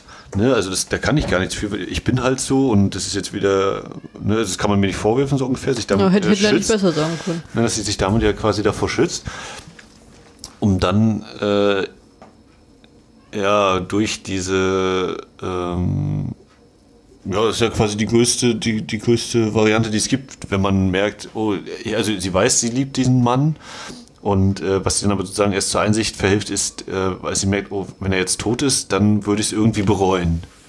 Ne? Und dass daraus diese, diese Wandlung erwächst. sie bereut es ja. Also es- er wird ja für tot erklärt. Ja, ja, ne? Und nur deswegen eigentlich, also deswegen, deswegen ist es bei mir so tatsächlich, ist ja vielleicht auch schön, dass sie dann für mich auf jeden Fall nicht einfach nur eine strahlende, äh, positive Figur ist. Ja, ich finde auch ehrlich gesagt, für mich ist die, kann. also für mich ist der Film jetzt nicht unbedingt ein großartiges Happy End. Zum einen, Ja, also äh, für die beiden, ne, das schließt schon sehr positiv na, für die ab. Hauptcharaktere Dass sie schon, aber dadurch, dass ich Team Second Lead bin, ist es für mich Ja, ja, natürlich ein unglaublich tragisches Ende. Also, dass ausgerechnet mein äh, Lieblingscharakter natürlich zeitliche segnen muss, das weil, weil er, weil, weißt du, warum das so ist? Weil er von Grunde auf eigentlich tolerant ist. Ne? Man muss ja trotzdem, das ist ja trotzdem für ein amerikanisches Publikum gemacht, man muss natürlich auch äh, offen zeigen, dass damit die Amerikaner halt auch tolerant sind, aber man möchte trotzdem die Amerikaner ja auch in Grenzen halten. Also das kann man ja zum Beispiel auch, ähm, je nachdem wie eng man das jetzt äh, auslegt, kann man ja auch sagen, ne? er ist derjenige, der sich tolerant gibt und dann aber äh, sagen, es ja trotzdem den Feind in der Welt gibt, den anderen, die, die äh, Gesichtslosen und also ja, es sind Gesichtslose, die Japaner, die Feinde. Wir kriegen ein paar Schiffe aus der Ferne zu sehen, die Flugzeuge, aber wir sehen, hab- gibt keinen, der jetzt mal als einzelne Figur eingeblendet wird, oder? Ich Nö, das- da gibt's keine ne? Also wir haben den, der gesichtslose Feind und äh, dem fällt er dann zum Opfer im Rahmen der Mission, während der, der Franzose, der Geflüchtete, für den das eigentlich alles so gar nicht thematisiert wird, äh, Aber das fand ich auch- äh, der dann derjenige ist, der überlebt. Also ich muss auch ehrlich sagen, ich fand es auch interessant, dass der Franzose äh, diesen Entschluss fällt, doch bei, der, bei dieser Aktion, dieser Geheimaktion überhaupt mitzumachen, weil es er ja vorher die ganze Zeit abgewehrt hatte, weil ihn das gar nicht betroffen hat. dass er das jetzt aus der Verzweiflung heraus, weil Nelly nicht mit ihm zu, ihn nicht mehr heiraten das- das- möchte, also- dass er das Gefühl hat, er hat nichts mehr zu verlieren und deswegen macht er mit. Ja, also Wo ich mich jetzt frage, was, Was ist das mit für ein scheiß? Vater? Ja. Entschuldigung. Ja, die sind ja alle versorgt auf der Plantage und so, da kümmert sich jemand. Aber das, das ist richtig. Aber ich finde es in, in der filmischen Erzählung, finde ich es äh, nachvollziehbar. Ich verstehe völlig, was du meinst. Ja, das ist schon so. Kinder, äh, bis jetzt hatte ich keinen Bock auf diese Mission, ich habe ja auch euch. Und, aber jetzt diese eine Frau, mit der ich gerne zusammen wäre, damit die sich, damit die sich dann vielleicht um euch kümmert. äh, wenn, wenn die jetzt sagt, die ist nicht mit am Start, dann kann ich diese Mission auch machen, weil dann hält mich ja kein Mensch mehr hier. Ihr beiden kleinen äh, Knipse, ihr zählt einfach nicht, auch wenn ihr mein Fleisch und Blut seid. Ähm, das ist natürlich schon, ja, kann man auch nochmal so hindrehen. Aber ist natürlich, also ich verstehe schon, was, wie der Film es eben erzählen will. Ich finde das auch am Anfang stark, wo man, am Anfang hat man ja das Gefühl, bei diesem Hauptpärchen, also bei Franzose und der Nelly, dass sie sich eigentlich gerade erst kennengelernt haben und äh, dass die dann von 0 auf 100 gleich springen, indem er dann gleich den Antrag macht und alles. Also es hat, ja, es hat kurz, kurz einwerfen, das hat für mich auch so wirklich so dieses, ja, anscheinend wissen die alle, wer so auf der Insel ist, äh, aber wahrscheinlich haben die sich bisher immer nur mit dem Fernglas gesehen mal oder so und äh, ja. Ja, man, ja, man kann ja davon ausgehen, dass auch die, äh, das Militär auch mal in seinen Reihen bleiben muss, ne? Also seinen Baracken und alles, dass die jetzt nicht mehr zu Ausgang haben. Äh, aber nichtsdestotrotz, wie er dann noch so zu ihr meint, ja, ich bin ja viel älter als du, ich stehe ja bevor dir. Du kannst, wenn wir jetzt Babys machen, du kannst die dann noch mit nach Amerika nehmen oder hier lassen und dann kriegst du das ganze Geld. Kannst Wo mal ich- was willst. Wo ich dann auch so sagte so, oh, ja, Kann- kannst du den toll, hast mich überredet, ja, das ist ein tolles Paar. also, mh, Nelly, ich bin älter als du. Meine Zukunft ist jetzt. ich, muss aber, ich muss aber auch ehrlich sagen, das ist sowohl in Filmen als auch als in Serien ist es so, dass ich sehr häufig Probleme habe, sobald ich einen Haupt als Charakter, ist jetzt egal welches Geschlecht er hat, aber es ist meistens leider die Frau, wenn er dumm ist. Oder jetzt so empfinde. Und das nimmt mir bei Jens so ein bisschen den Sehspaß. Und, ähm, und ich habe sie jetzt als dumm empfunden. Ich habe nee, ich habe sie sogar jetzt hohl empfunden, dass sie noch den Rassismus am Ende reingekriegt hat, wo ich hatte so, naja, okay, alles klar. Das ist irgendwo das, was ich dann wieder für mich aus meiner Perspektive ja wieder eine logische Konsequenz empfand, weil ja viele Leute das nicht so sehen würden, aber ähm, ja, das, das, das hat mir so ein bisschen den Charme vom Hauptpaar mitgenommen und natürlich auch, dass er so alt war. Ne? Also das war für mich jetzt kein, als Frau möchte man ja auch was zum Anschauen haben und dann geht man natürlich mit dem Second Lead und nicht mit dem kleinen Italiener mit. Ne? Also Das ist ja für mich eine Frage. Also äh, mit Zigeuner, wie gesagt, bin ich der Meinung, der Name, vielleicht klingt er auch nur wie ein anderer Name, deswegen bilde ich mir ein, von ihr schon mal gehört zu haben. ja, Gloria von, Gaynor von, oder was. Von, ja, ja, das besteht hochgradig die Möglichkeit, damit so viel überschneide. Aber ich muss sagen, von ihm habe ich, äh, also sein Name hat bei mir überhaupt nichts klingen lassen. Und John Kerr habe ich einfach nur gedacht, na, vielleicht ist er mit Deborah Kerr irgendwie verwandt, aber sonst Hm, ich habe jetzt Also- ich hab von geguckt. für mich alles völlig unbekannte Namen, was ich äh, durchaus interessant finde, weil Na gut, bist du in der Musical-Szene denn so unterwegs? Naja, aber trotzdem sind es ja nur Schauspieler oder sind das, ist das eben quasi eigentlich Musical-Sänger, Sängerinnen, die eben jetzt mal einen Ausflug in das Filmabteilung unternommen haben. Also, Ich glaube, in der Also Zeit, der, also in den 50er Jahren, da gab es da nicht so eine großartigen Unterschiede. naja, also wie gesagt, die, die sind mir alle völlig unbekannt. Also nie gehört, nie gesehen. Ich habe auch nicht den Eindruck gehabt beim Gucken so, ich so dachte so, hm, kenne ich den? Nö, keine Ahnung. Können wir jetzt natürlich nochmal die Filmografien durchgehen, aber Auch nicht der große Blonde mit dem bauchfreien T-Shirt? Nee, auch nicht, auch nicht Luther Willis, äh, Ray Walston. Also gut möglich. Ne? Bei dem kann ich mir durchaus vorstellen. Aber aus dem Stand nichts. nix. Ich meine, das ist nochmal die Frage, welche Filme habe ich aus der Zeit mal gesehen und wann habe ich die mal gesehen und wie lange ist das her, das ist noch zu verknüpfen. Ähm, ja, was ich gerade noch sagen wollte, South Pacific als Titel ähm, liegt ja dann fast sogar nahe, da auch eine, eine neben der geografischen Bezeichnung da auch äh, ja, weiß ich nicht, ähm, eine, eine Bedeutung für das Pacific, also für dieses Pazifistische, das Friedliche noch mit reinzulegen. Ne? Und dann eben darunter dann, unter diesem Titel dann ausgerechnet Rassismus und Krieg thematisiert werden. Also sie werden sich ja schon irgendwas dabei gedacht haben mit dem Titel, lässt es sich gut vermarkten, bla bla bla, aber vielleicht eben auch da noch eine Bedeutung mit reinzulegen oder glaubst du, ich gehe da gerade zu weit? Kann ich nicht einschätzen. Ich weiß nicht, ob die Amerikaner so schlau sind. Aber ähm, k- konnte ich mir gut vorstellen. Ich, meine, ich, ich, äh, andererseits bist du auch ein Mensch, der in alles immer eine Doppelbedeutung reininterpretieren kann. Das ist so, so eine Im Stärke von Gegensatz zum dir. Rausinterpretieren. Nee, ähm, kann ich mir vorstellen, dass es mit reinspielt, ja. Kann ich mir wirklich vorstellen. Also, ne, guck mal, der ist von 58. Wir haben jetzt also quasi. Also das Musical selbst ist ja 48 entschieden, also das ist nach 10 Jahren. 48 schon. Also, also das Musical Also selbst, die auf der Bühne ist, ist ja zuerst Ah. und dann der Film kam ja dann erst 58. Ja, also ich überlege gerade so dieses ne, Abstand zum Krieg und was, was verbindet sozusagen die Bevölkerung zu dem Zeitpunkt, wenn sie dann davon hört, so South Pacific, was verbindet die damit? Denken die dann eben so, oh ja, da hatten wir hier den, den Krieg um Midway und weiß ich nicht, ist das überhaupt Pazifik? Ja, ich glaube schon, ne? Äh, die, die, also die japanisch-amerikanischen Auseinandersetzungen eben in den Pazifikregionen, äh, ist, das, ist das eben das, was zuerst einfällt? wollte man damit vielleicht dann eben auch einen Gegenentwurf schaffen, sagen, ja, das war schon alles sehr schrecklich, aber es hatte eben auch, äh, es gab auch Keime der Hoffnung, Orte der Liebe, äh, Momente der Hoffnung und sowas.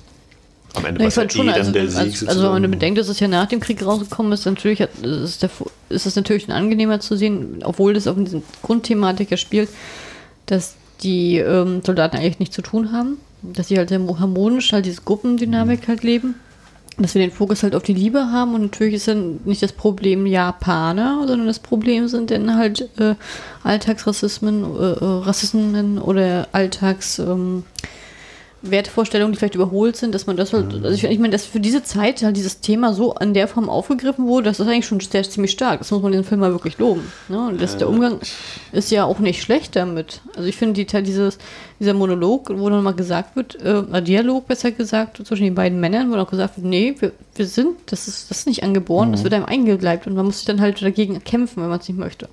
Und das ist, finde ich, für die Zeit, also schon sehr, sehr stark. Guck mal, guck mal was in Amerika ist ja nun gerade.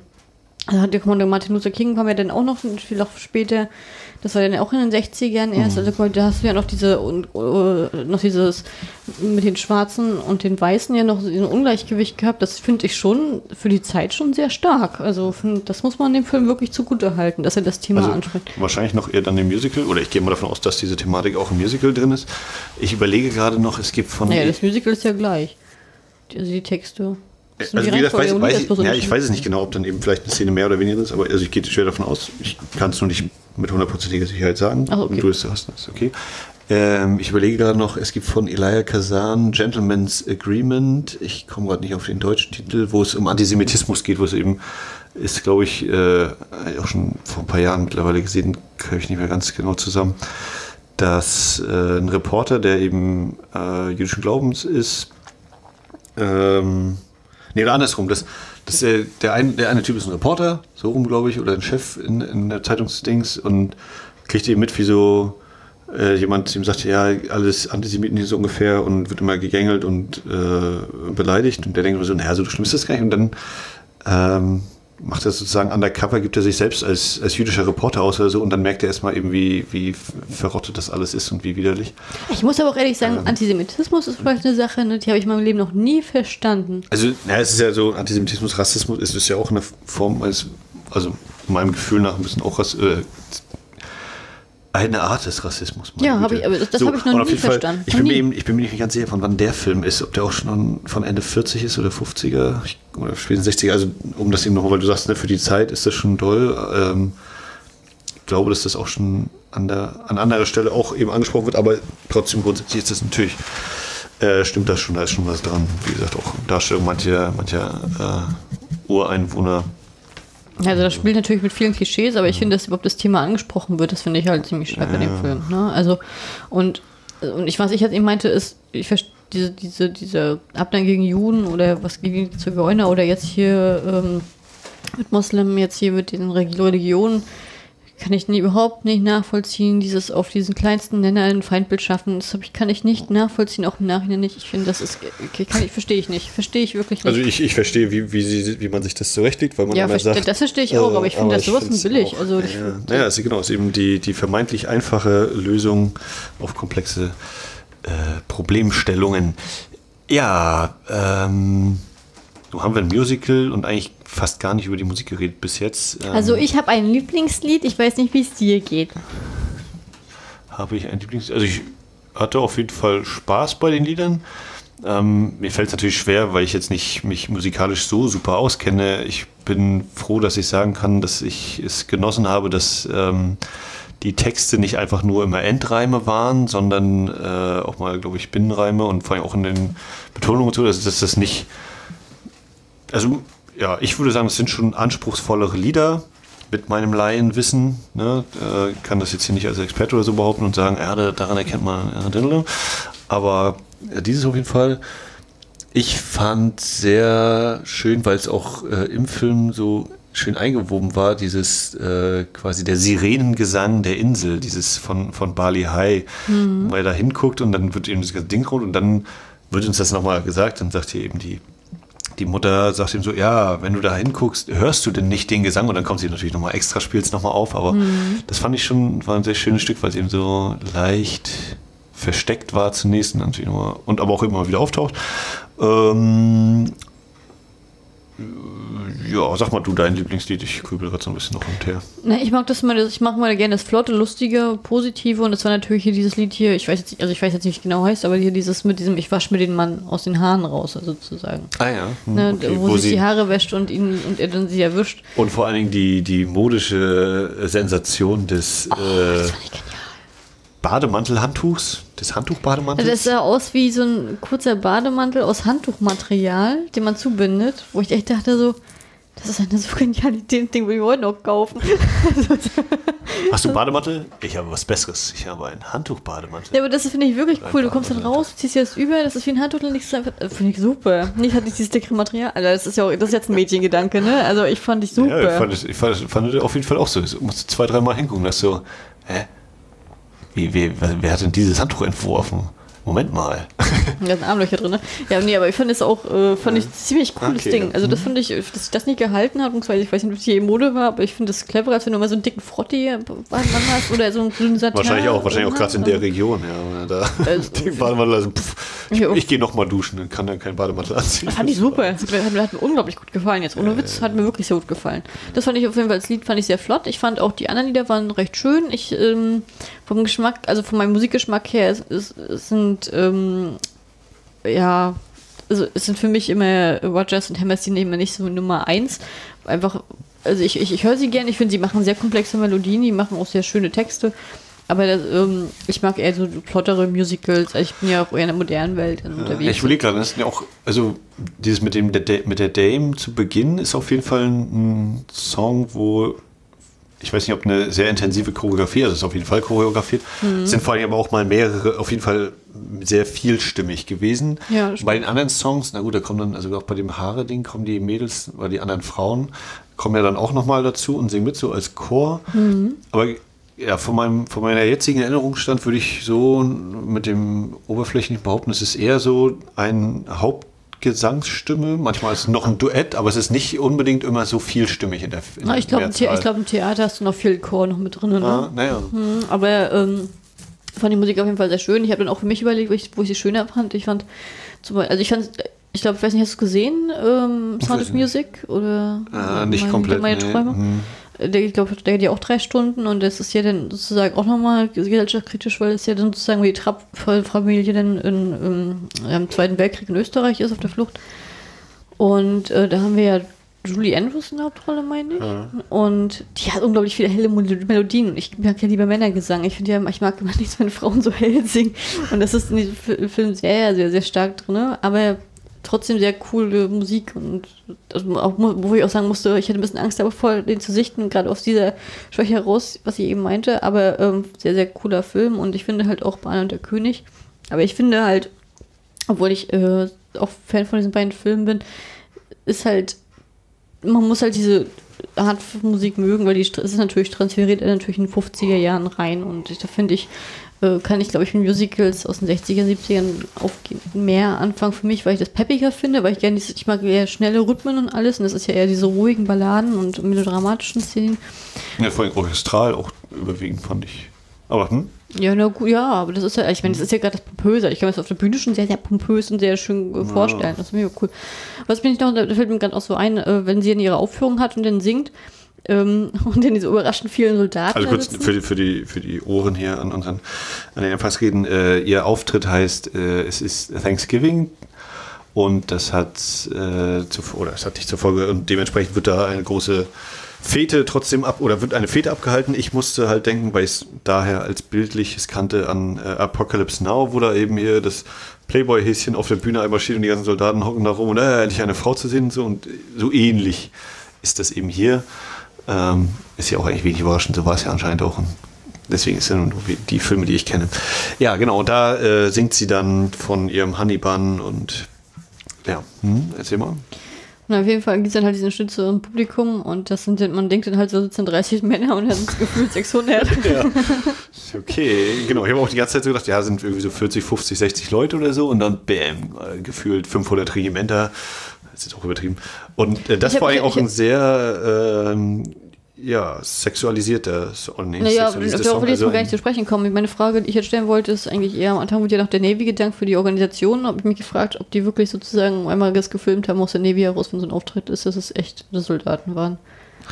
Ähm, dadurch, dass ja ganz zu Beginn des Films das eingeblendet worden ist hier, wir bedanken uns bei Armee, Regiment und Navy und Teil so, war das mit ziemlicher Sicherheit echte Soldaten oder mhm. Reservisten oder was auch immer. Also spätestens, wenn dann das hier am Strand ist und die auf das Abholen warten. Oder es waren Statisten, aber mindestens von der Armee ausgestattet mit originalen mhm. äh, Kleidungsstücken und solchen Sachen als Werbung. Man muss auch sagen, wie, nochmal, genau. wie die alle aufgestanden sind nach der Veranstaltung und sich das, diese Riesengemasse so schnell geleert hat und auch so geordnet geleert so, hat. So läuft es bei der Armee. Also das könnte, davon könnte man sich eine Scheibe abschneiden. Das war mhm. ja wirklich bombastisch. Ja. Und der, der Song, der da eben zum Best gegeben wird, ist äh, Honey Bunny. äußerst ähm, zweideutig und auch sehr offensichtlich geht es eben. Ich habe schon wieder den konkreten Text so ziemlich vergessen. Dieses Honey Bun habe ich mir noch gemerkt, ähm, aber wo dann eben ist, ja, ich werde sie ein, also ich paraphrasiere jetzt hier, ich werde sie eincremen und äh, wir werden gemeinsam durch die Gegend hüpfen, so ungefähr. Das sind, wie gesagt, leider nicht mehr die exakten Zeilen. Äh, aber eben ja sehr doll, klar und deutlich dieses, ja, wir werden äh, Sex haben. Und interessant an dem Punkt ist ja eigentlich auch, dass sie, also dass da eben der, der Gender Swap stattfindet, der Geschlechtertausch. Mhm. Sie ist der in Matrosenkleidung und äh, unser, ja, man kann schon, ich nenne ihn jetzt mal Hofnarr als traditionelle Figur, äh, der Luther Willis, Luther Billis, äh, taucht da eben auf, bekleidet wie eben ein Ureinwohner, diese, eine Ureinwohnerin dieser Inseln, eben so mit Kokosnussschalen über der Brust und äh, eben diesen ja, Rock oder ich glaube, Rock ist ja völliger Quatsch, aber ich weiß nicht, wie das heißt. Ich komme nicht drauf. Ich weiß auch nicht, wie das so heißt. Das Hawaii-Röckchen. Aus seinen Blättern und Blumenkranz im Haar und so. äh, das hier eben also auch nochmal mit der. Und ich habe, ich meine, das mag jetzt so äh, retrospektiv vielleicht noch stärker so wirken, aber die singenden Seemänner zu Beginn des Films, also wenn dieses Lied kommt hier mit der Dame, da habe ich schon den Eindruck, so dieses, ich weiß gar nicht, ob die alle wirklich so scharf sind auf eine Dame. So wie die sich da so halbnackt alle gegenseitig anzwinkern und anlächeln. Das habe ich auch gedacht bei dem einen, als er dann, als dann hier der Loser den einen so anlacht, bevor der dann den Sprechtext loslegt, habe ich auch gesagt, also, dass ich weiß, dass das jetzt alles gemeint ist, aber in der heutigen Zeit wäre das absolut gay. Also das war. Ja, ähm, äh, ja, gibt es ja auch Simpsons Folgen also, also, also, Join the Navy. Also, ja, nee, aber das ist wirklich, ähm, ja, also das ist ja sowieso ein bisschen klischee-mäßig, aber das war so wirklich, der Blick, der war so überzeugend, also das war so Hula-Rock. Hula, da hätten wir auch drauf kommen können, ne? Kennt ja, ich habe so über Hula Hoop überlegt, aber ob das tatsächlich passte. Aber ich finde, ich weiß nicht, ob das so, zu Polynesien passt, das will ja schon wieder.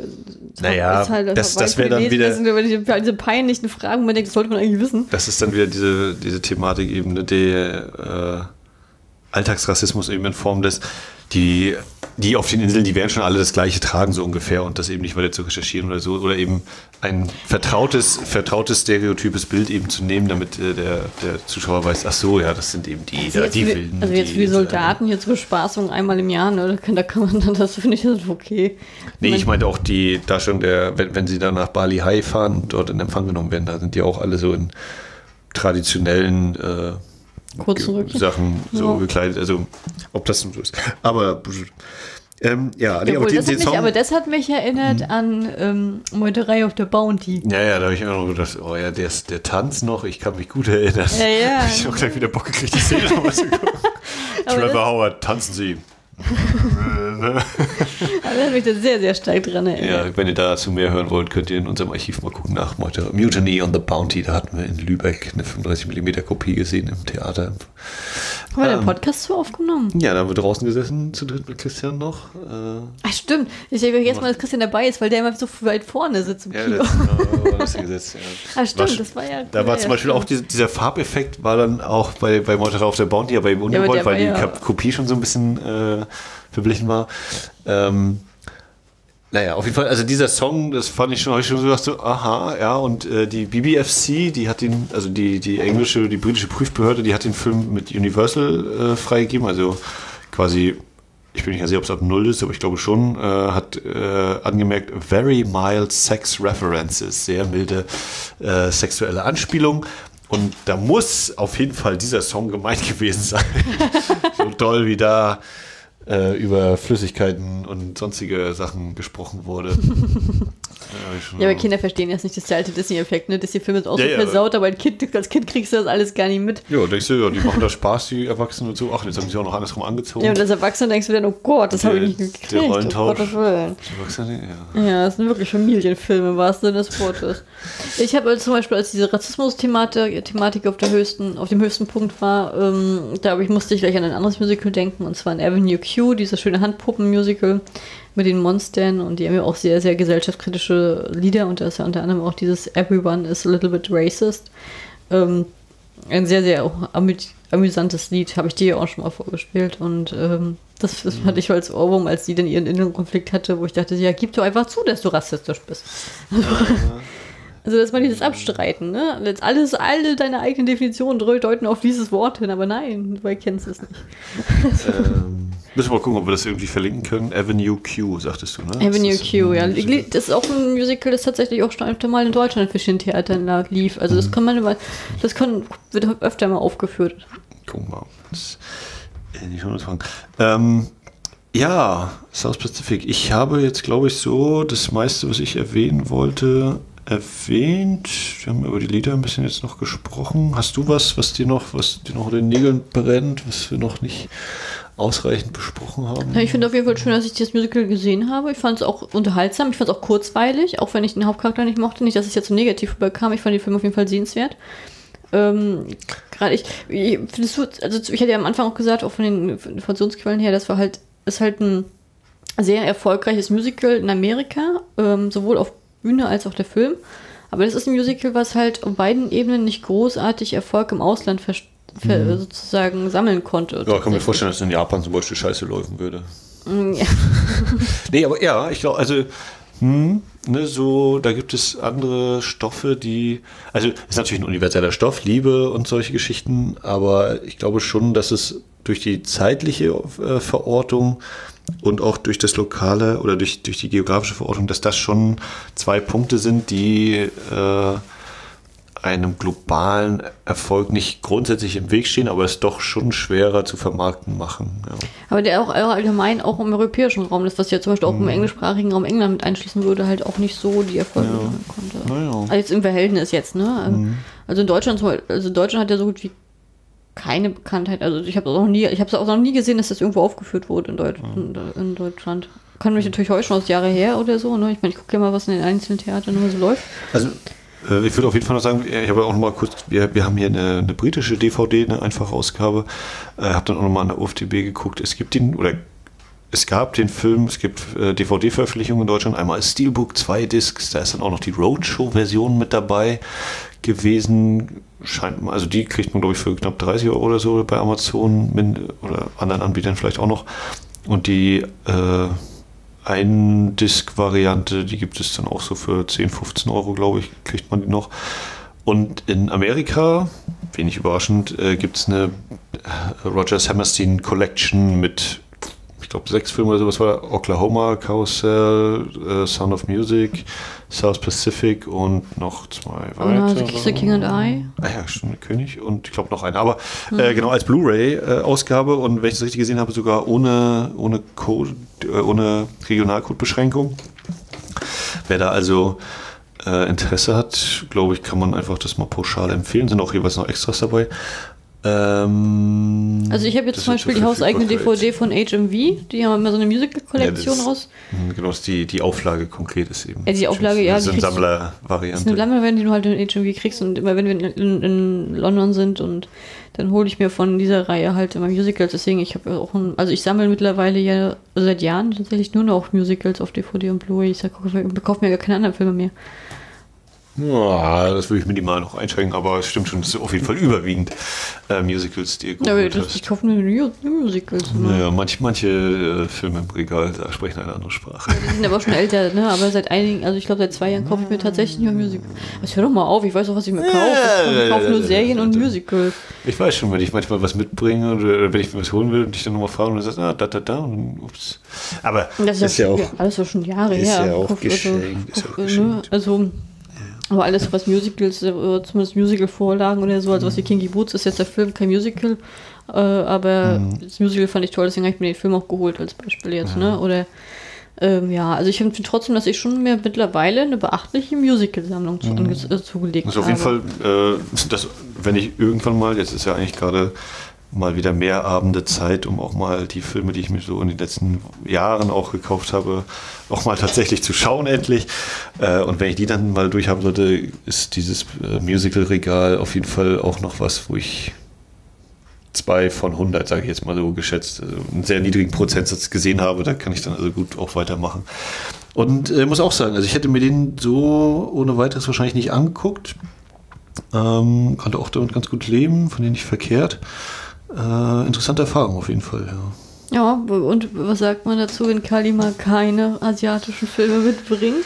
Ja, ich, äh, das habe ich gerade, genau, das habe ich vorhin noch so überlegt. Ähm, du hattest als Film davor Tora, Tora, Tora, ne? Wir hatten jetzt Orlax Hände in der letzten Folge und davor hattest du Tora, Tora. Ja, ich kann nicht Also, ganz aus meiner Haut sind, raus. Wir sind, wir sind das also, sind, lang, das sind kleine Ja, Schritte. nee, ich finde ich finde es lustig, dass wir sozusagen sowohl äh, zeitlich wie geografisch da ziemlich dicht dran sind wieder, ne? Oder das ist ja eigentlich der gleiche, also ich weiß nicht, wie gesagt, der genaue Handlungsort will ich mir jetzt nicht festnageln lassen, aber ist ja auch wieder Pazifik äh, und Zweiter Weltkrieg. Ja, aber das war aber eher unabsichtlich. Ich Ja, hatte ja. jetzt gar nicht mehr auf dem Schirm gehabt, dass wir das als Tora, Tora, Tora hatten. Bei Mhm. mich war es einfach so, ich habe mich aufs Musicalregal gestellt, habe gedacht, okay, jetzt musst du was gucken, was auch in Wiederaufführung passt. Das darf ja nicht so jung sein, schmeiß da raus. Und worauf du Lust hast. So, und dann hatte ich dann halt gedacht, Annie, kein Bock. Dann habe ich gedacht, Oliver, keine Lust. Und dann habe ich gedacht, so, nee, da habe ich letztens erst gesehen und zu lang. Dann South Pacific, oh ja, da habe ich Bock drauf. Und dann habe ich gedacht, oder Daddy Langbein. Das war meine Alternativdings mit Fred Astaire. Und dann habe ich so gedacht, ach, du hast, jetzt kommt die Ironie dahinter. Oh, er hat jetzt keinen Bock auf eine Liebesgeschichte zwischen einem alten Mann und einem jungen Mädchen. ja, Tja. Das Schicksal schlägt immer zu. nee, ähm, und ich hatte ja immer Bock auf, ich hatte immer wieder Bock auf Musical, wie gesagt, weil das ja wirklich mein Genre ist und habe das ja auch versprochen, äh, gerade vor allen Dingen auch im Hinblick auf Dennis versprochen, dass ich Musical immer wieder ähm, mal reinbringen wollte und dann hatten wir ja Mit diesem Kriegsfilm hat keiner gerechnet, glaube ich. Ja, da war ja auch, äh, da war ja auch der junge Mann, der uns der diese Kriegsfilme ja auch ganz viel vorgeschlagen hatte, Ja, der ja. Teufel. Ich glaube, ich weiß gar nicht, ob South Pacific auf der Liste war. Ich weiß es Ich glaube nicht. Ich glaube ich, glaube ich auch nicht, aber ähm, Hier noch ein Tipp für dich. Nee, aber Ja. das- also ich- so habe ich mal wenigstens mal nicht Asia, Asi, äh, asiatisch mitgebracht. Ich hatte nämlich auch einen Film, äh, den ich unbedingt noch sehen möchte aus Korea. Ähm, den habe ich mir jetzt verkniffen. Und äh, was nicht heißt, dass er nicht, nicht nochmal kommen wird. Ähm, aber ich freue mich, dass ich ein Musical wieder gesehen habe. Und jetzt habe ich auch ein bisschen Bock auf Musicals. Und ich habe mir schon überlegt, ob ich jetzt mal ein bisschen mehr beim Broadway äh, wieder ein bisschen mehr runtergucke und das, weil ich ja immer so ein Phasentyp bin. Aber ich kann schon sagen, ja, das hat wieder trotzdem wieder bestätigt, dass Musicals mein absolutes Lieblingsfilmgenre sind. Und ich glaube, diese Aussage, wenn nach einem Lieblingsgenre gefragt wird, hört man sehr selten. Äh, ich wollte noch mal kurz ein, du hattest gesagt, einhaken, du hattest gesagt, äh, du fandest den Film relativ kurzweilig. Ja, fand ich. Und ähm, du hast ja auch, ähm, hast du vorhin einmal erwähnt, der Film geht ja knapp zweieinhalb Stunden und diese, Zwei Stunden, 37 Minuten. Je nachdem, ob man eben DVD oder Blu-ray hat, äh, ist das mit Abspielgeschwindigkeit. Und da gibt es anscheinend noch diese Roadshow-Version, die knapp drei Stunden anpeilt. Auf jeden Fall habe ich so gedacht, so zweieinhalb Stunden. Ach ja, wir gucken ja ein Musical, dann ist ja eine Intermission drin. Dann kann ich ja, dann ist ja entspannt. Dann gucken wir also Stunde, anderthalb Stunden geht das, dann ist eine kurze Pause und dann gucken wir nochmal die andere Stunde, dann ist das ja wieder schön so häppchenweise. War so mein Gedanke so zwischendurch, habe ich so gemerkt, ja, das habe ich früher auch nie äh, gedacht. Aber ja, das wollte ich noch so irgendwie kurz mal loswerden dazu. Ähm, Ja, wir haben diese Folge ein bisschen spontan eingelegt, deswegen habe ich eigentlich auch, ich hatte eigentlich gedacht, ich wollte noch so zwei, drei Sachen äh, vorneweg auch mal wieder erwähnen, aber die, das habe ich mich jetzt halt nicht vorbereitet. Ähm, Stichwort neue Podcasts oder so, die ich noch höre, deswegen kann ich schon gar nicht mehr sagen, welche ich da so habe. Relativ neu, oder ähm, hast du jetzt gerade noch was? Jetzt mache ich das jetzt einfach. Äh, ich Okay, ich habe jetzt auch gerade überlegt, aber ich habe auch keinen neuen Podcast. Ja, ich höre auch ich- noch Märchenstunde Podcast aktuell aus dem deutschen Raum. Äh, relativ frisch ist äh, der Kino 90 Podcast. Die wollen, äh, weil das Jahr 1990 oder die 90er sind jetzt schon fast 30 Jahre her.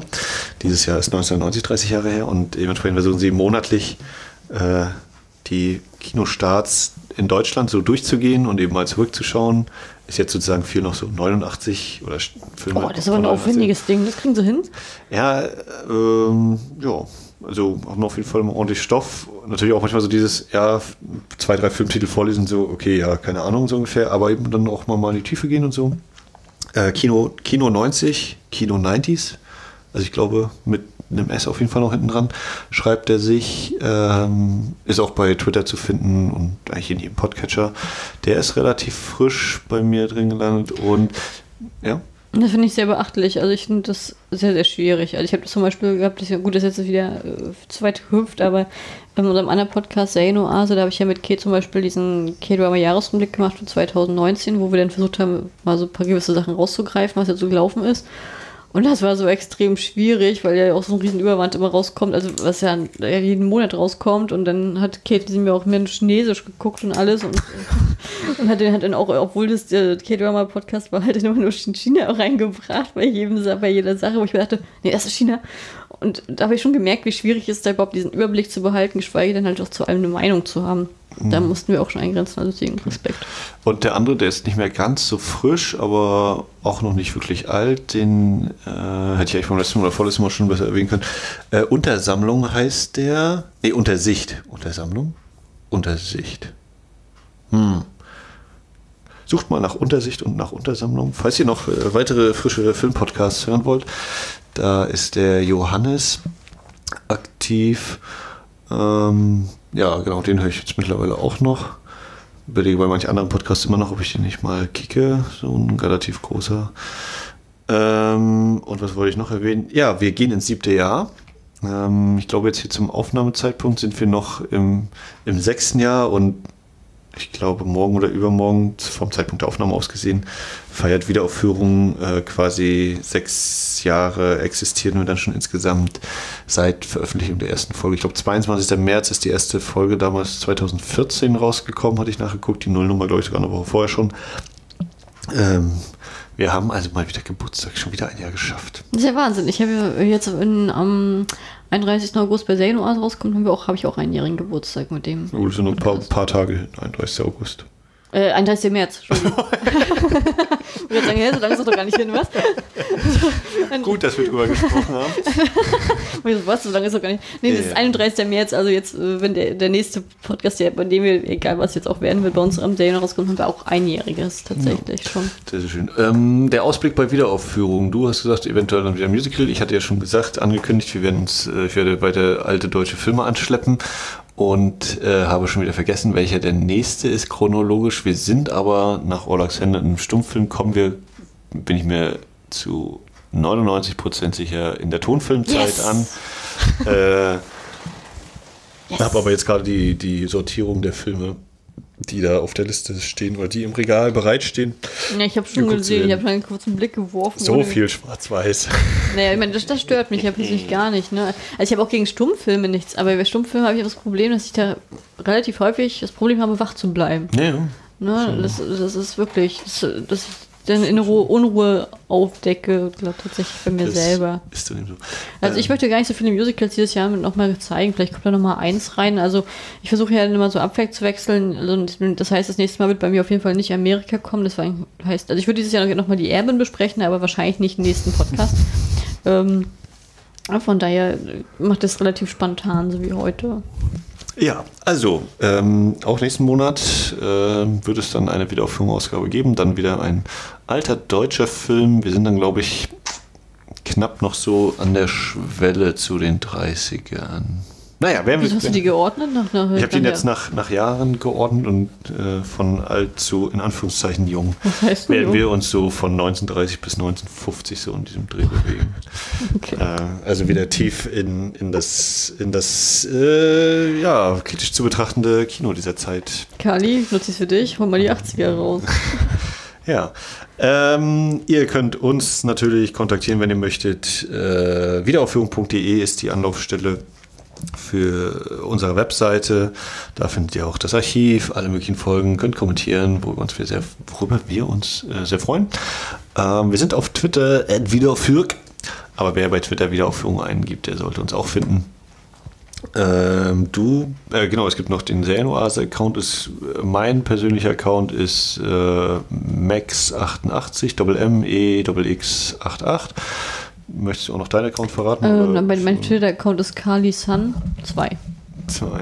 Da ist vor allen Dingen K-Drama, C-Drama, Ja, ja, also das, äh, also, ostasiatische also, also Drama, das, Action. das, das, mir tut das immer so leid, weil dann die ganzen Filmquad-Podcasts und vor allen Dingen überwiegend Englisch machst du, glaube ich, ne? Ja, genau. Also bei mir ist das das Problem, dass äh, ich freue mich immer, wenn mich die ganzen deutschen Filmpodcasts tatsächlich ähm, immer aiden. Aber dann bitte macht, würde ich euch empfehlen, macht das über serienoase.de.